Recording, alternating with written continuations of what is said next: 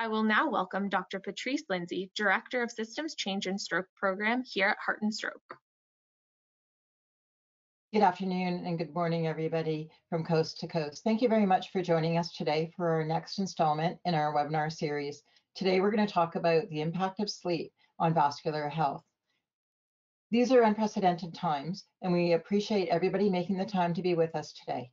Our learning objectives for today are to really understand what the evidence is related to sleep and vascular health, to talk about strategies for assessing sleep health and sleep disorders, and to identify and apply management plans to help your patients to address their sleep and to optimize their health.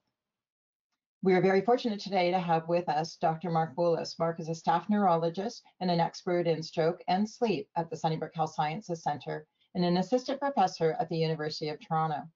Mark is very popular and has presented for us in other venues and is always um, presenting to a full house. Today is no exception. So Mark, thank you very much.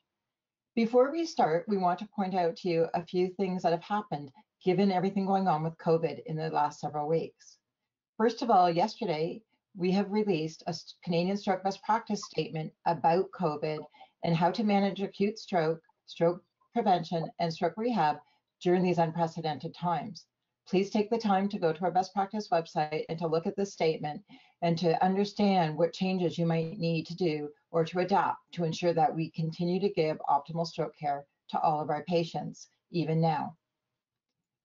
Within the Heart and Stroke website, we have been monitoring this COVID and stroke and heart disease and vascular cognitive impairment evidence for several weeks now.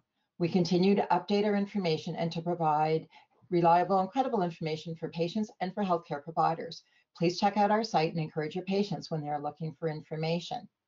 We're also doing several other podcasts, webinars. We've got lots of printed materials and infographics, and we're in the middle of publishing scientific papers. So please let us know if there's anything we can do to help you as you support your patients, your coworkers, and look after yourself during this unprecedented time. Thank you very much for that. I will now pass it over to Mark Boulos to talk about sleep and vascular health. Thank you very much, Patty, for the very kind introduction. I really thank the organizers for the wonderful opportunity to present on this topic. Of course, it's a, ma major passion of mine. And also want to thank all of you. These are very difficult times. I thank everyone for joining us uh, today, and I really hope you enjoy the webinar and we can answer as many questions at the end as possible.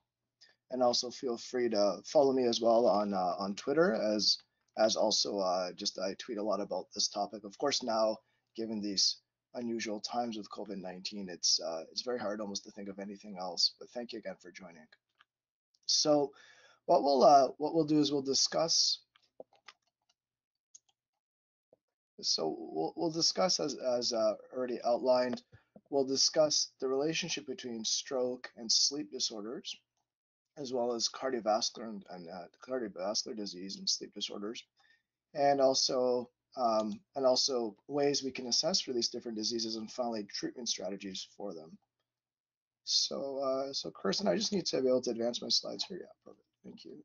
So I do want to disclose some um, in-kind support I've received from different companies, uh, particularly in the sleep world as well as also some peer-reviewed uh, funding sources as well from different agencies through different grants I've been fortunate to receive. So this is the outline that we've already discussed that will discuss different sleep disorders such as sleep apnea, abnormal sleep architecture, as well as also talk about different ways that we can assess for sleep disorders and finally management approaches. So let's first talk about sleep apnea. What is sleep apnea? Sleep apnea is when, uh, you know, normally when you breathe at night, airway just goes right through your oropharynx, absolutely unobstructed. The airway air can go right in. In, in cases of obstructive sleep apnea, for whatever reason, the air is actually being obstructed and cannot enter the oropharynx. This gives rise to actually a large number of uh, physiological consequences. So, and also a large number of symptoms. So, for example, snoring, daytime sleepiness, you might your bed partner might actually see you stop breathing in your sleep. Awakenings uh, in the middle of the sleep due to choking or gasping, as well as morning headaches. However, it's important to note that in our vascular populations, patients may present atypically. Uh, as a stroke neurologist who specializes in sleep disorders, I'm actually often surprised, but it's not that surprising when you think about it, that uh, patients will report that their snoring has decreased since the time they've had their stroke. And I think that's probably because the airways have actually laxed or they've become a little bit more relaxed uh, post-stroke, given often the oral pharyngeal weakness we may see in different stroke presentations. So again, it's important to note that these are the typical symptoms, but in the in the vascular population, we very much may see uh, atypical presentations. So the, the, the symptoms and the signs that we've just discussed can give rise to a large number of physiological consequences.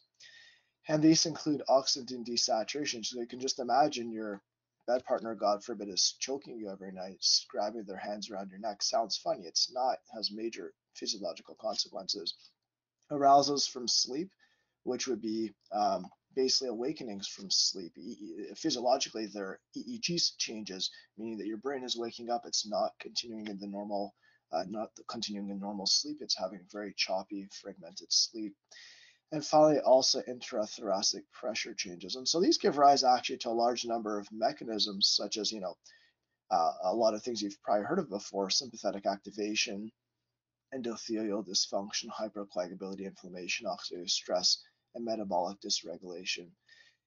And so from physiological grounds, you, we, uh, we can see that you know, sleep apnea can give rise to stroke, myocardial infarction, heart failure, systemic hypertension, arrhythmias such as atrial fibrillation, which of course carry great consequence in the vascular world, and unfortunately even sudden death.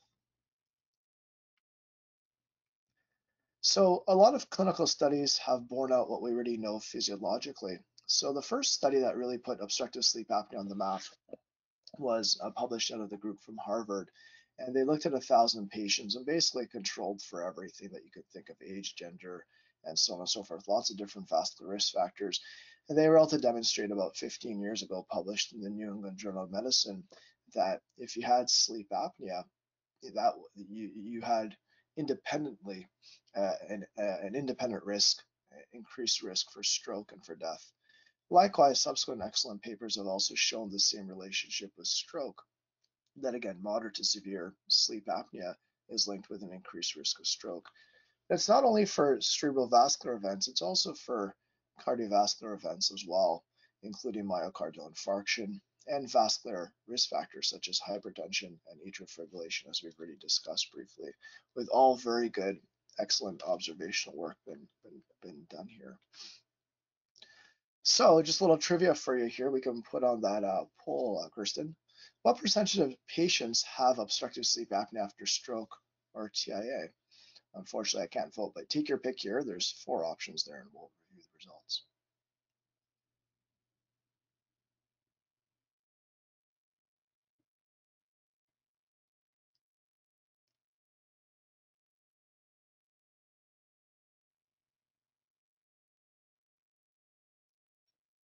All right, maybe we can put up the results. All right, I think you guys are pretty close.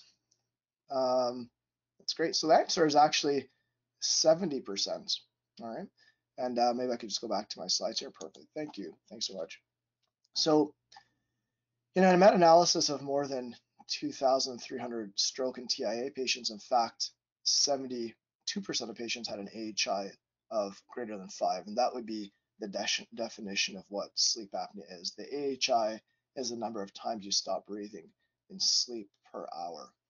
And it's important to note that sleep apnea in the stroke population is linked, as also in the cardiovascular population, but it's linked with poorer outcomes such as longer hospitalizations, poorer functional status and cognition, recurrent vascular events, and morbidity and mortality. So, in conclusion, just to wrap up our relationship between sleep apnea and vascular disease, it's very important to note that sleep apnea is an independent risk factor for stroke and for cardiovascular events, as well as their vascular risk factors such as hypertension and atrial fibrillation. Let's talk, let's take a step away now from sleep apnea and talk about other sleep problems. Let's talk about abnormal sleep architecture. Unfortunately, a lot of us have it, unfortunately being in the healthcare work. And dealing with very, very, very stressful times. So a lot of us do shift work. Let's put up a little trivia question here. Um, if you don't mind running that poll, perfect. So what are the consequences of shift work?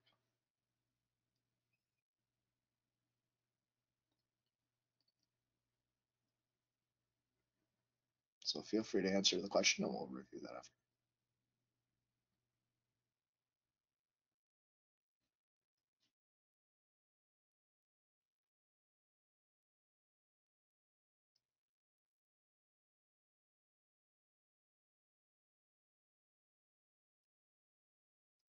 Great, so can we put the result? Let's see what it shows. Yeah, you guys got it right. Perfect, excellent, that's right. So unfortunately, shift work, which, you know, in our line of work is often absolutely necessary, is actually linked with all the above and even other things too. So what are the consequences of shift work? Well, acutely, you know, as you or I may have, you know, you're on call one night, busy call, see lots of patients through the night, never really get enough sleep. You just get an acute sleep loss. And also over the years, over the years, you can eventually develop chronic sleep loss. And these have a lot of effects on us, regrettably, including workplace accidents, diabetes, weight gain, coronary artery disease, stroke, even cancer outside of the vascular front here with, with again, pretty strong epidemiological evidence. Um, insomnia Insomnia is where you can't initiate or maintain sleep. Initial insomnia, by definition, is an inability to initiate sleep, and um, middle insomnia is the inability to maintain sleep. and you know this is pretty common, occurs in 10 to 20 percent of the population, but some people actually have a chronic course. Insomnia itself is also linked with a lot of a lot of vascular consequences such as hypertension, coronary artery disease, acute coronary syndrome and heart failure, especially with shorter sleep times. An interesting paper was published at the end of last year that looked at genetic predisposition to insomnia, or this genetic, what they call genetic liability to insomnia, and found that that was actually linked with ischemic stroke, coronary artery disease, and heart failure. So again, the whole thing about just not getting enough sleep or having poor quality sleep is again very important in linking to vascular events and risk factors. So the the um, the national foundations, like the National Sleep Foundation, again, these are based out of the states, and also the American Academy of Sleep Medicine recommends that everyone gets about seven to nine hours of sleep. It's pretty well established in literature now that sleeping less than six hours, or uh, six or seven hours, depending on the study, most studies use six hour cutoff though. And so getting not enough sleep is linked with heart disease and stroke, early death, diabetes, hypertension, weight gain, obesity, depression, not surprisingly, and also things like impaired immune function, increased pain, and impaired performance, increased errors, more accidents. But it's not about getting too little sleep, it's also about getting too much sleep. So sleeping 80, more than eight or nine hours per night is associated with heart disease and stroke. Now, obviously, one has to be careful on what we say here because if you're sick, God forbid, you, you get an illness like the flu, God forbid, or COVID-19, and you're in bed, or you break your back or something, you, you have you break a bone, then sleeping more than eight or nine hours per night is appropriate, is appropriate as your body recovers. But outside of being sick per se, or dealing with an underlying medical condition like an acute medical condition, you shouldn't be sleeping more than eight or hours, eight to nine hours per night on a regular basis. Obviously, to catch up with your sleep, that may be appropriate. So other literature has actually looked at the duration of naps, and napping for more than an hour a day was initially shown to be uh, associated with all-cause mortality and cardiovascular events, whereas napping less than an hour a day didn't really show too much association. However, a study again recently published last year, a pretty large study, demonstrated that the best amount of sleep you can get for yourself is getting around six to eight hours of hours per sleep, which is basically in line with with the uh, with the academy recommendations. If you sleep more than six hours per night and you nap, that's associated with an increased risk of cardiovascular events and death. If you sleep less than six hours per night and you get then some napping, in fact, you, you negate the association with, so there is no increased risk of cardiovascular events and deaths. So that's kind of interesting that people perhaps who don't get enough sleep uh, a nap may actually be beneficial uh, in that case. So just to summarize here on the relationship again between sleep, abnormal sleep architecture, and vascular events, it's important to note and just to remember that shift work, insomnia, long and sleep, uh, long and short sleep duration are associated with unfavorable health consequences, including stroke and heart disease. If you want to stay perfect from your sleep, if you can get six to eight hours of good quality sleep, that's typically associated with the lowest risk of cardiovascular events and death. But sleeping more than six hours per night and then regularly napping is associated with increased risk of cardiovascular events and death. So that's sort of the overview talking about the relationship between sleep, different sleep disorders, and vascular events. There's a lot more other things we can cover maybe in uh, at another time. But I'm going to move on now to how can we detect sleep disorders and really objective measures or objective approaches to detecting sleep disorders. So that's a picture of me wearing one of my home sleep apnea tests. I'll talk about that more in a couple of minutes in my office, which I haven't seen now for about a week or two.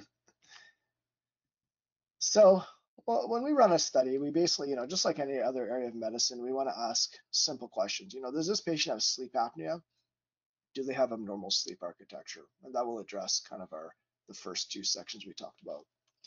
So for sleep apnea, you know, and, and really for any sleep problem, we've traditionally been using a lot of in laboratory polysomnography. So this is where they stick lots of wires in your head, your face, your chest, and other spots of your body. It's the gold standard. It's it's our industry standard right now to diagnose sleep problems. There are challenges though with polysomnography. It's quite expensive. Wait times can be long. Patients often don't want to go to the sleep lab. And it's not really the person's true sleep. It's not really their natural environment. So uh, just in case you were wondering, we have published on normative sleep values in, in laboratory polysomnography. So for example, um, you know, what, how much sleep in, if you go to the sleep lab, how much sleep should you be getting how many, how much time in every different sleep stage should you be obtaining and so on. And if you go to psgnorms.com, uh, this is a paper that I worked on with a with a large number of very talented collaborators, and we published it last in the Lancet Respiratory Medicine. Uh, this, this, website here is is uh, would tell you what's basically a normal sleep study for your age and for your sex. But outside from clinical using a full in-lab test, you can use what we call a home sleep apnea test. I'm going to just give you a quick primer on different sleep studies here. So the level one, level one sleep studies are are those that have at least seven channels. And that sounds pretty complicated, but basically when you go to a lab and you get wired up with everything, that's basically what they're doing. It's what it's basically the technical term is level one. Level two is the same thing, but you can do it at home or in a lab. Level three is what I'm going to focus on. on. Level three is kind of like a, a dumbed down version of a level one or level two. So it only has about four channels. It's pretty easy to put on and it can be used in a home or a lab setting. Now, typically, if you're going to use it, you're going to use it at home. There's no point to go to a full lab and, and, and um, or a full lab setup and, and, and use a level three there. Then level four, just in case you're interested, would be just a single channel, like when you run an oximetry, uh, just like an oximeter or something like that. So level three has actually been the focus of some of my research work, and I'll talk about that very briefly right now. Uh, but there are a whole bunch of different level threes, and I'm just showing you everyone that's on the market that I'm aware of, of which I've already disclosed that I do have some in-kind support for. But again, in fact, my I, I lost money in running research and lose money, continue to lose money in my billings because the government does not actually support the use of these in Ontario. So when I order a home sleep apnea test, I actually am losing the money that I would have obtained from ordering an in laboratory study. So in fact, I'm disclosing it as a as a as in-kind support, but in fact it is harmful to me. It's not of benefit to me uh, because I'm not actually making I'm not I'm, I'm losing money on these things. I've again in-kind support. I've not received any financial support from companies to use these. Um, but the, the, bottom line is that these are generally accurate as reviewed uh, in the CMAJ a number of years ago. And, you know, I, I, really feel that they are more of a gold standard of what we're trying to measure here. So, you know, in the lab, no one's going to show up with their alcohol that they might be using at home, no recreational drug use. And, you know, the effects of things like cannabis are not really well appreciated in sleep, but there probably is an effect. you're not usually sleeping in your usual sleep position. Often people in the lab are forced to sleep on their back. Uh, you're probably getting better sleep because you're not stuck with a whole bunch of wires. It's just a bunch. It's pretty simple, as you can see, just an oximeter or something around the chest and something on the finger here. And you're probably sleeping a little bit more. So you're probably getting a better sleep duration. So the level three, these level three home sleep apnea tests, I would say, are likely, you know, are, are sort of uh, approaching more of what your real sleep is. And they're also convenient and it's your typical sleep environment. So I think it makes for an overall better test, in my opinion. Um, they're also cheaper. So these tests you can see here again, I've just shown you everyone that's in the market that I'm aware of, but they range from around two to six thousand dollars. And then once you bought it once, you can use the um, you can use the uh, you can use nasal cannula or, or batteries that basically run every test for less than five dollars once you actually have the equipment. Um, and comparing that to the level one, again, level one, remember they were being used multiple times a week almost every day, probably every day of the week, but they're expensive, thirty to fifty thousand dollars.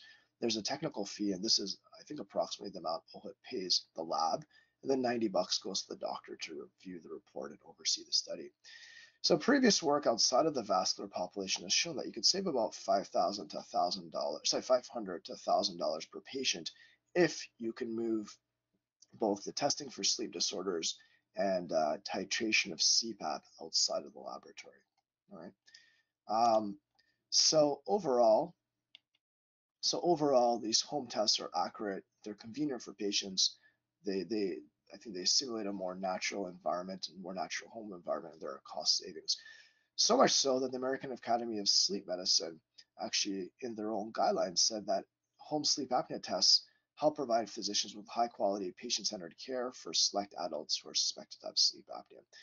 And our population that we're looking after here, the stroke and cardiovascular population are at very high risk for sleep apnea and may and this and home sleep apnea tests may actually be shown to be a benefit in these populations.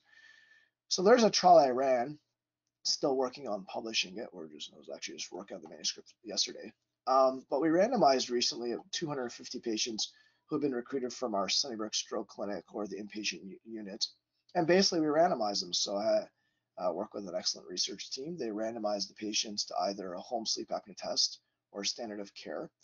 And in the home sleep apnea test arm, patients were given the home sleep apnea test. And in the standard of care arm, they're given uh, in laboratory or they were given the option to use in laboratory polysomnography. And we looked up primary and secondary, secondary objectives. If anyone at any point of the study was diagnosed and either arm was diagnosed with um, sleep apnea, they were started on CPAP basically in the order of weeks. And what we found, not surprisingly, is that uh, compared to using the in-laboratory sleep test, patients in the home sleep apnea test arm had increased diagnosis of sleep apnea. They were more likely to be treated with CPAP. They had reduced daytime sleepiness, and they actually had a greater ability to perform daily activities and other positive functional outcomes on the stroke impact scale. We also did a formal cost effectiveness analysis and showed that this was actually a cost effective approach.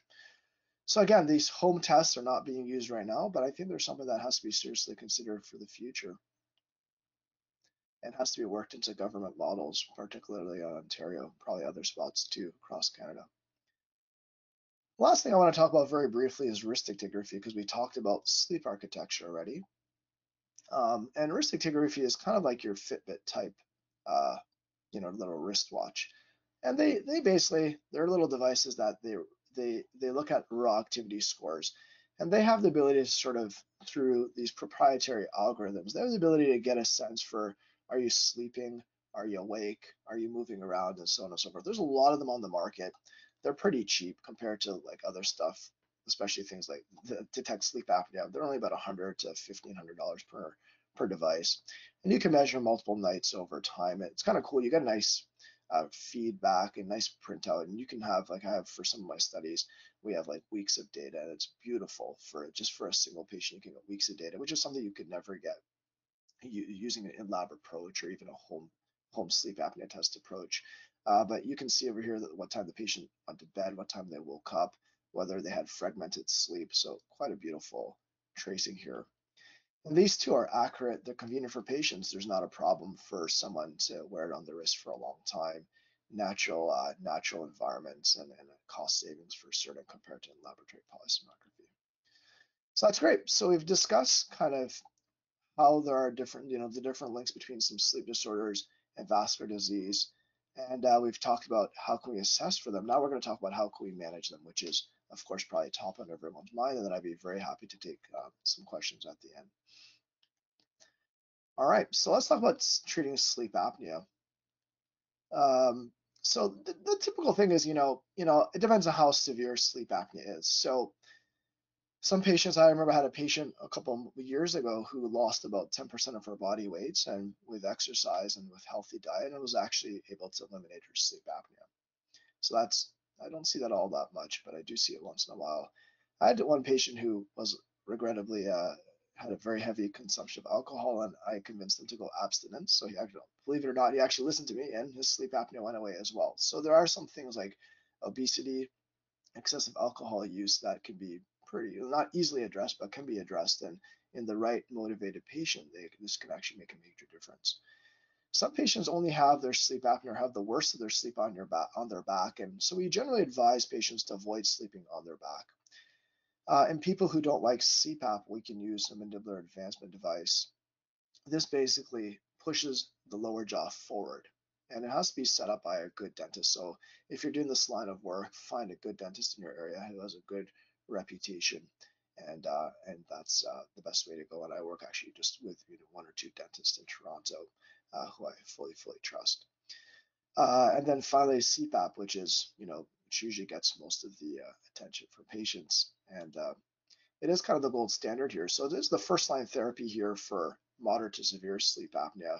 But there are challenges with CPAP we have to be very open about it, which is it needs to be titrated, fit, and managed closely. And you know, people really struggle, especially initially with CPAP. So I really tell people to try different brands, different masks of the CPAP devices, especially different masks and uh, just to find something that actually fits on their face. I tell people while they're watching TV to actually put their CPAP on even before they're in bed, just so they get used to how it feels like on their face, and they should do that for many hours. I know it sounds goofy, but at least they get they get comfortable with how the CPAP fits and feels on their face before they go to bed. Some patients also struggle with adherence because of congestion irritation. So some people really, it really, I got really, it takes a lot of coaching, a lot of follow up, a lot of encouragement, but you can have happy outcomes here in a carefully selected picture. But however, he's demonstrated poor sleep hygiene by using a tablet in bed, unfortunately. But at least he's using a CPAP. Um, and observational work, and I'll share with you um, the randomized literature in a couple of minutes here. But basically, in patients after stroke, uh, if they were compliant with CPAP, their blood pressure dropped, they had increased well-being, they had reduced vascular events, reduced five-year mortality. Factors affecting um, CPAP compliance uh, are, are, variable in the literature, but things like early compliance, and uh, actually our lab published on a paper recently looking at actually that people who were actually better off, greater functional capacity, less daytime fatigue, actually were more likely to be compliant with it. So they're different, it's multifactorial in terms of in terms of what would really help patients in terms of sticking with their CPAP. Let's take a look at the randomized trials now. So I told you that it was all very rosy about um, about again CPAP compliant patients clearly in again observational work have improved blood pressure, vascular events, mortality. But what does the randomized literature show? This is where it's been a little bit more challenging. So I've summarized here again. This is this is sort of just a grab bag uh, for all the papers that I'm aware of that have been published um, in the past uh, two decades that look at the effect of CPAP after stroke. I'm going to do the same for cardiovascular events as well. Um, and it's very clear that you have multiple improved non-vascular outcomes, such as reduction in depression, improved functional outcomes, a reduction of NIH, improve quality of life, um, reduced daytime sleeping, improve mood. So lots of even cognitive benefits. The challenge though in this area of work, a little bit of the one of the challenges I deal with on a day-to-day basis is that not a single trial has shown a difference in vascular outcomes with the exception of one that only had 140 people. Um, but the most important trial was the SAVE trial published in 2016 by McEvoy et al. And uh, that was published in the New England Journal of Medicine with about almost close to 3,000 patients with stroke and cardiovascular events. And again, that was that was kind of um, that, that, that was a big shock to the field because we thought that with an adequately powered trial, uh, we'd be able to demonstrate a reduction in mortality, at least a reduction in vascular events. So I'm going to talk about that a little bit more because that is something that is near and dear to my heart and something that we should discuss more. And I'd like to share with you my thoughts. In some selected effective cardiovascular trials, um, so in, again, this is after cardiovascular events, not necessarily all the trials that looked at reducing cardiovascular mortality, but after cardiovascular events, here are some, here are three selected trials. Again, some of the larger ones. Again, the um, again the SAVE trial is in here as well, and there was another one published a couple of years ago as well, mostly European based. But again, improved non-vascular outcomes like systolic blood pressure. You guys, you can call that kind of vascular, but it's not exactly a direct cardiovascular outcome. Uh, but reduced blood pressure, again, improved daytime sleepiness, quality of life, mood, reduced snoring. Um, but again, no difference in vascular events across all three trials. Now, the last one actually did, after they said that after they adjusted for comorbid um, conditions and compliance and so on, in a sort of a uh, in a post hoc analysis, they demonstrated they demonstrated a reduction in cardiovascular events. Now, some of the limitations of the RCTs to date, some of the limitations of the trials to date, are that they've generally had small sample sizes. They may have intervened too late. For example, the SAVE trial um, intervened three months after after someone's event, and uh, generally they had poor CPAP adherence. And this is a big challenge in the field here.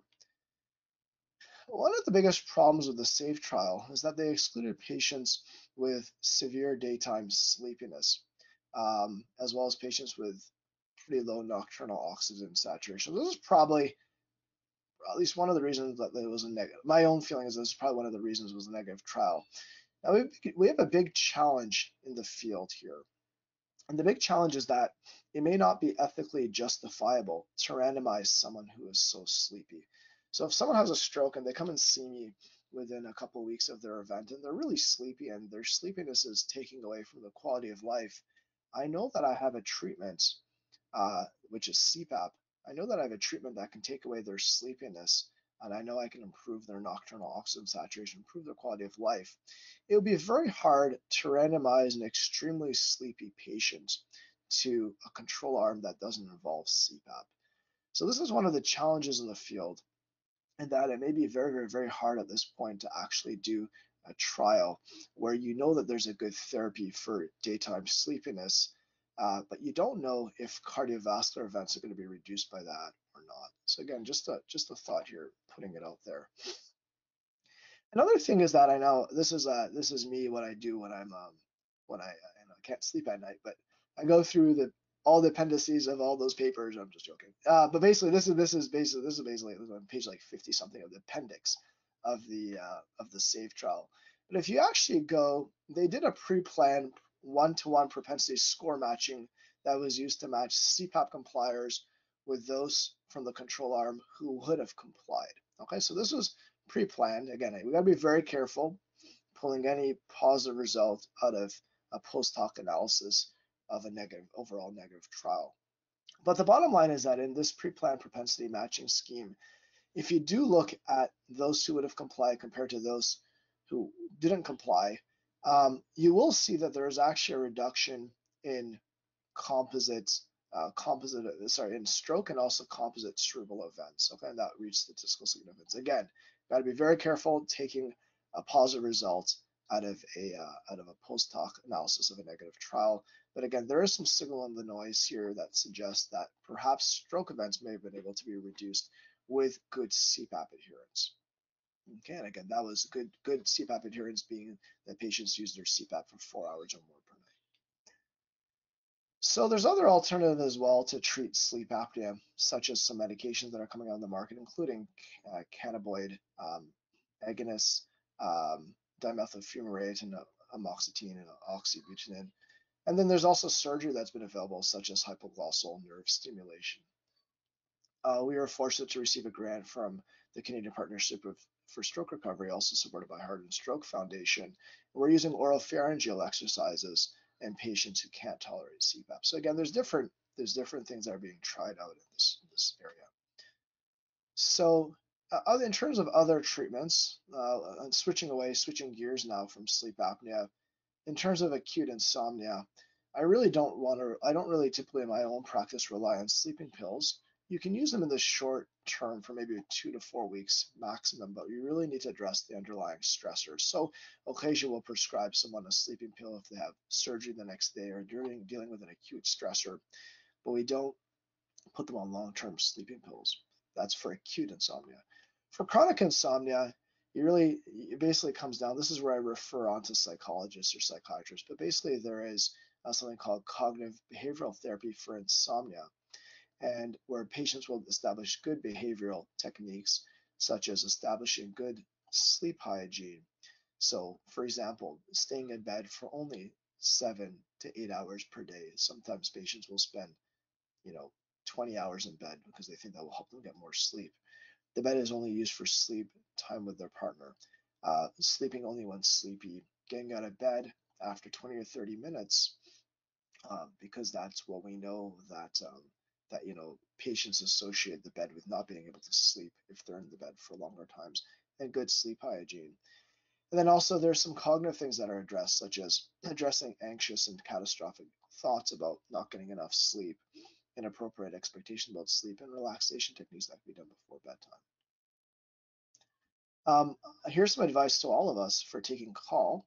I personally take post call days, even though I'm a staff. I don't book a clinic the next day. I make sure I have enough time the next night, or the next day rather, to catch up on my sleep.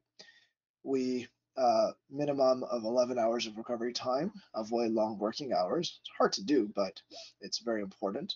Uh, regularly screen and offer sleep for sleep disorders. Prioritize sleep recovery before and after and during uh, work shifts where possible.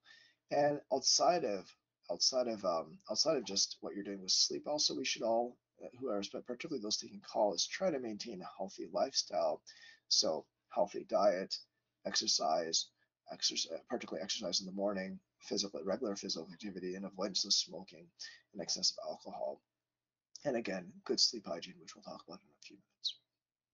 So here's some, sorry, actually, we'll talk about it right now. Here's my little ending tips on good sleep hygiene. This is advice that works across the board for lots of different sleeping problems, such simple things that you're probably already aware of, but always important to keep in mind. So try to have eight hours of sleep every day. Try to keep a regular wake and bedtime. I would say plus or minus, you know, plus or minus 30 minutes. So have always go to bed every day, always the same time. Try to wake up every day at more or less the same time as well. Bedroom should be dark, quiet, little cool. Research has shown that a cool bed, you sleep better and have it's a little bit better for your health. Uh, finish eating a couple hours before bedtime. That makes sense for digestive reasons. Avoid caffeine at least within six hours of bedtime. I, I usually say just don't take any caffeine after noon. So maybe you take your noon coffee and the coffee and that's it. Avoid alcohol within a couple hours of bedtime. And again, I told you that story of the patient who actually stopped drinking at night and his sleep apnea went away. Uh, stop smoking if you do. Yeah, so this is a controversial area where looking at screens before bedtime, probably I would say don't look at any screens in bed because they could really, really affect your ability to fall asleep. And I tell patients to avoid using electronics and really any work related materials in their bedroom. And uh, but again, even looking at screens in bed can associate the bed with no longer being uh, for sleep, but rather for for uh, for entertainment or for watching movies. Exercise regularly, always beneficial. Uh, bedroom should only be for sleep, as discussed before. And again, work materials, computers, TVs. You don't want the bedroom to be associated at all with anything work related. Relaxation techniques. So some uh, people will have a warm shower, some people will do massage and so on and so forth. Anything that will help relax you before bed. Avoid sleeping on your back. So this is a little trick that my mentor at, Sunnybrook, Dr. Murray, taught me is that You can have a little shirt that has a breast pocket. Usually the breast pocket is obviously at the front, but you can put a tennis ball in the breast pocket and then wear the shirt backwards so that you, if you accidentally roll on your back, you get a little nudge again. So you wear, basically put a tennis ball in the breast pocket and wear the shirt, uh, and then wear that shirt backwards. You can also raise the head of your bed by sleeping on more than one pillow. Um, again, as we discussed before, if you can't sleep, go to bed within 20 minutes. Sorry, if you if you can't fall asleep within 20 minutes, 20, 30 minutes, get out of bed, do something boring and try to go to bed again. Right. Something that probably many of us do is you probably make lists or or organize yourself before you go to bed. And I think that's a good idea. If you have worries or things that you have to do, you have to take care of, you can just sort of arrange your week by making a list of things, writing them down, keeping everything organized so you don't carry these thoughts uh, with you into bed. And that's it. So thank you very much for your time. Just to conclude then, sleep apnea is an independent risk factor for vascular events and vascular risk factors, as is disrupted sleep architecture. There's a lot of accurate methods and convenient, cost-effective ambulatory methods to detect sleep disorders. There are a lot of benefits to treating sleep apnea after vascular events, such as improving daytime sleepiness, recovery, cognition, mood, overall quality of life. However, no randomized trials have demonstrated a reduction of vascular events or mortality with CPAP use. And as discussed just over the past few minutes, uh, there are strategies to overcome the potentially harmful effects of sleep fragmentation, shift work, and insomnia. So thank you very much for your time. I also want to acknowledge the large crew that I have the pleasure of working with and collaborating with at Sunnybrook and abroad, Canada and the world. And uh, thank you very much for your time, and I'm happy to take questions right now. Thank you very much, Mark. That was an excellent presentation. Um, you have a huge following and they've stayed with you the entire time. So that's amazing. Um, we do have some, we do have several questions for you, so I'll get started. First of all, a simple one. Can you just clarify when you said 70, 70% of stroke patients have sleep apnea, is that before their stroke or after? It's a great question. It's actually after their stroke. It's very it would be very hard to gauge before their stroke of course because if we knew they'd have a stroke we would do everything possibly to to prevent it. So um so yeah so it's after their stroke. Probably many of them also had it before their stroke as well and that and that was an independent risk factor to develop the stroke. Great. Another question that's um, challenging for people and confusing. When you said that the study showed greater than six hours of sleep plus a nap had negative result, have negative effects on you, whereas less than six plus a nap was positive. Most patients who have had a heart condition or stroke who go home do sleep longer at night and do need nap, naps through the recovery process. Is that putting them at greater risk of having another event? No, I don't think so because uh, right after stroke or right after a cardiovascular event, patients need more sleep. So I want to be clear that that would be like in a general population. Okay where where patients where where the person's not dealing with any acute medical issue at that time. But stroke, often we have patients with post-stroke fatigue who will need many weeks, sometimes even months of additional rest. And it's the same with the cardiovascular population where additional sleep with those acute medical stressors is actually I'd say is appropriate and probably needed. Now, if it goes on for a long time, if it goes on for years, and it's very hard to set a cutoff for when is long time, but if it goes on uh, longer than that, one really should get checked out for sleep apnea. Why is more sleep necessary in those cases? Great, thank you. Um, several people have sent in questions related to access to sleep studies and when they are appropriate and not. So one question is asked, a couple people have said they have zero access or very long, long waiting lists. Another question asks, should patients in inpatient stroke rehabilitation or cardiac rehabilitation centers routinely get assessed for sleep apnea while they're there? Yeah, so um, so I think in terms of access, it's a big challenge, and this is why I'm trying to push through different talks and also um, trying to advocate, you know, discussing with at the government level and Ontario Medical Association level. Um, uh, you know, we should make sleep testing more accessible because it's easy to do, and as I've demonstrated already, it can be done through the home, through the home sleep apnea tests or actigraphy even. And when interpreted by an experienced physician, uh, these could be of great benefit to a large number of people. So that might address at least in part part of the access issue. Should all patients be addressed? Uh, should be tested for sleep uh, for sleep apnea? I think that is correct. I think it should be, and some stroke units actually already do that. So I know Toronto Rehab had at least uh, a dozen. I, I think I think they continue to do so. They've published some nice work on this as well, as we have at Sunnybrook with my research crew. But basically, yes, I would advocate for testing for um, for for sleep problems on these different vascular units uh, because they can help improve clinical outcomes. It ends up being a resource issue, and that's one of the challenges. But again, more using more ambulatory approaches may actually help facilitate that. Great, thank you very much. Um, do we have a sense of timing for when the home sleep apnea tests will be available and how quickly and by whom do they get read? Yeah, so they need to be read just like, so when you do a full in lab study like the level ones I discussed, they get reviewed by a sleep technologist and then signed off by a sleep physician who basically creates the report. For the home sleep apnea test, they also need to be reviewed manually by some sort of by an expert who's familiar with tracing and and so on and so forth. But they can be done. They can be they can be done. Uh, they can be reported much more quickly. And sorry, they can be both scored and reported much more quickly. Uh, how quickly, you know, so it can make things a little bit more efficient in that regard. Uh, in terms of the, the main holdup right now, as I mentioned before, is that the government does not support them in many parts across Canada, and that's the limitation right now. And so it's unfortunately what people are not, um, what people um, cannot support. Like I can't hire, a, I can't open up my lab and uh, and have it supported by home tests because I don't will not have any money to support my uh, my technologist or someone, which would be very unfortunate. Here's a good one for you. Some people are naturally early risers and some are naturally people who work late into the night. Right. Is there a higher risk or a difference um, in time you go to bed and and your risk of sleep apnea or events due to it?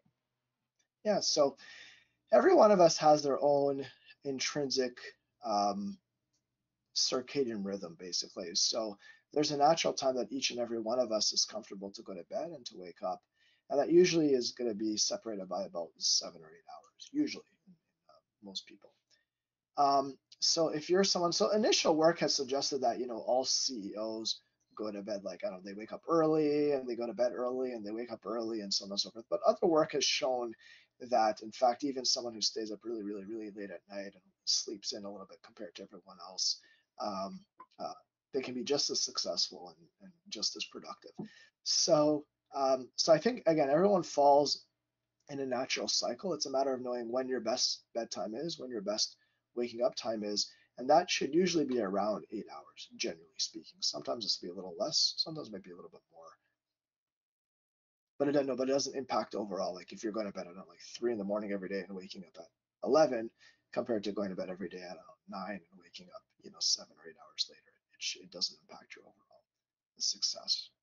Great. So you mentioned um, devices for sleep apnea for, by a dentist. What is the rate of success of these devices and are there specialized dentists that you have to get referrals to? That's right, yeah. So if you see a, special, a sleep specialist, they can refer you to a sleep dentist. And as I said, I work with just a handful of dentists across all of Toronto because I know that they're the ones who will fit these things uh, and do a very, very, very good job.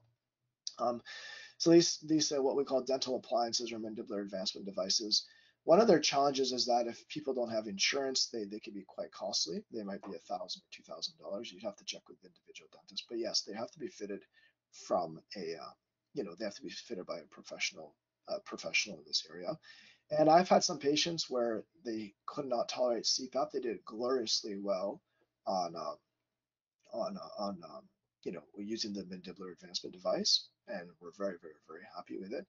Success rates vary across different dentists though, but they can be you know it, it, I would uh, probably would be good to know for specific dentists what the success rate is for them.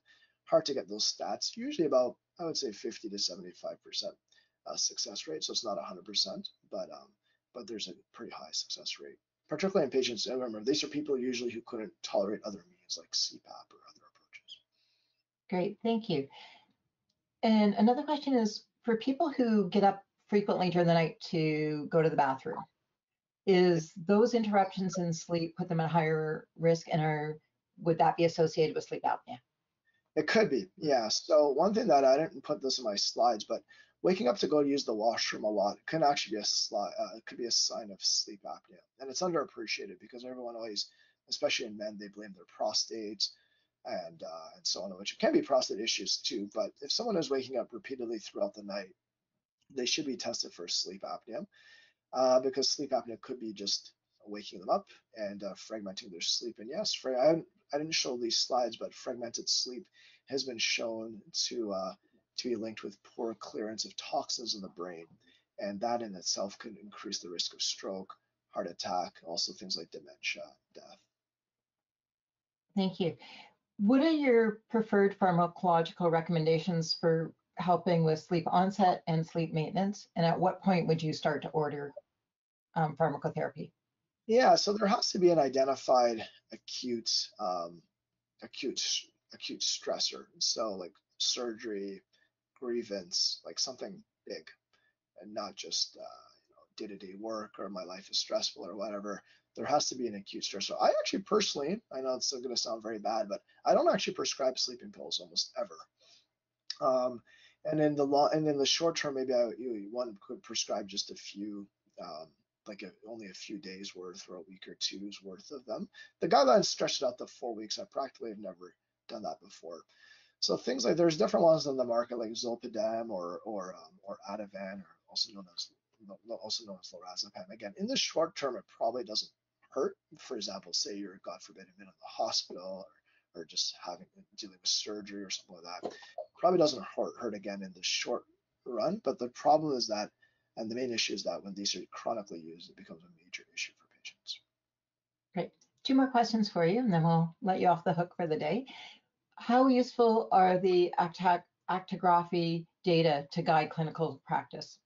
It's a great question. I thought someone was going to ask about commercial ones like Fitbit and stuff like that. So I'm sort of maybe I'll tie in the two uh, answers together or the two issues together. So Actigraphy is fairly accurate um, compared to in laboratory polysomnography. However, there are some limitations to it. One of them is that if you're lying still in bed, uh, while while polysomnography can tell whether you're sleeping or not because it has EEG channels on you, so it can actually it's reading your brain waves.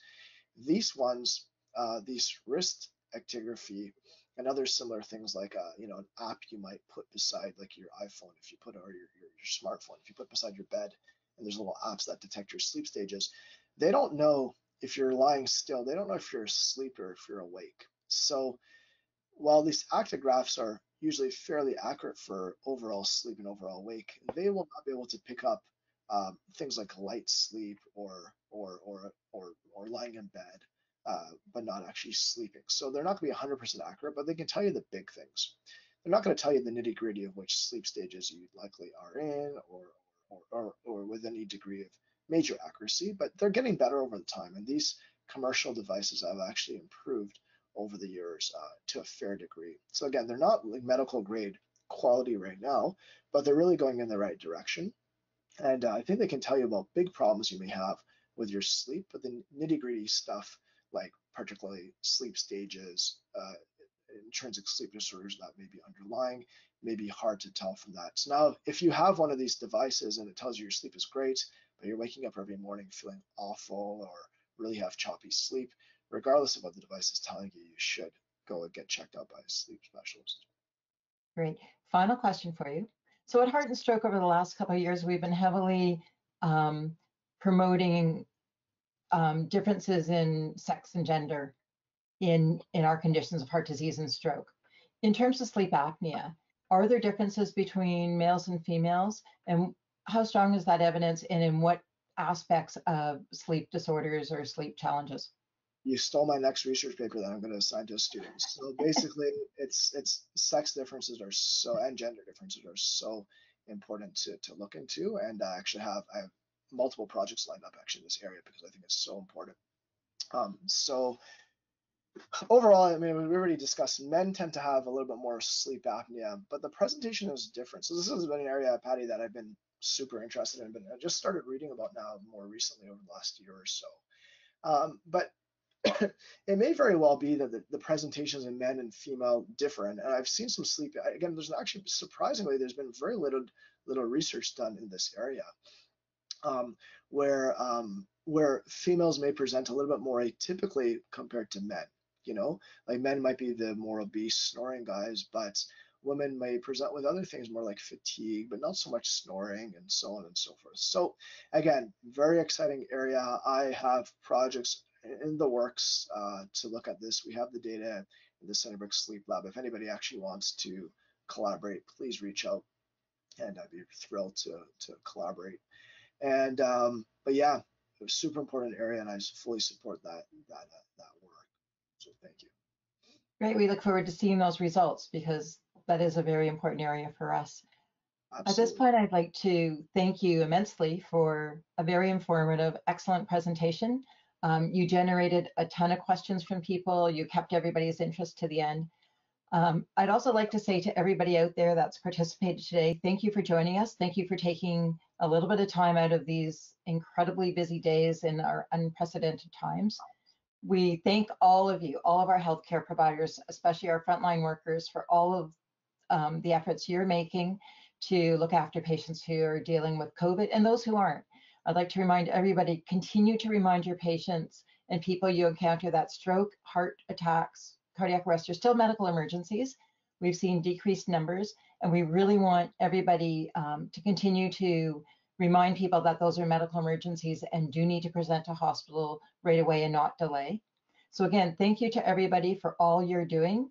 Um, we greatly appreciate your efforts. We greatly appreciate you joining us today, and that concludes today's session. Thank you.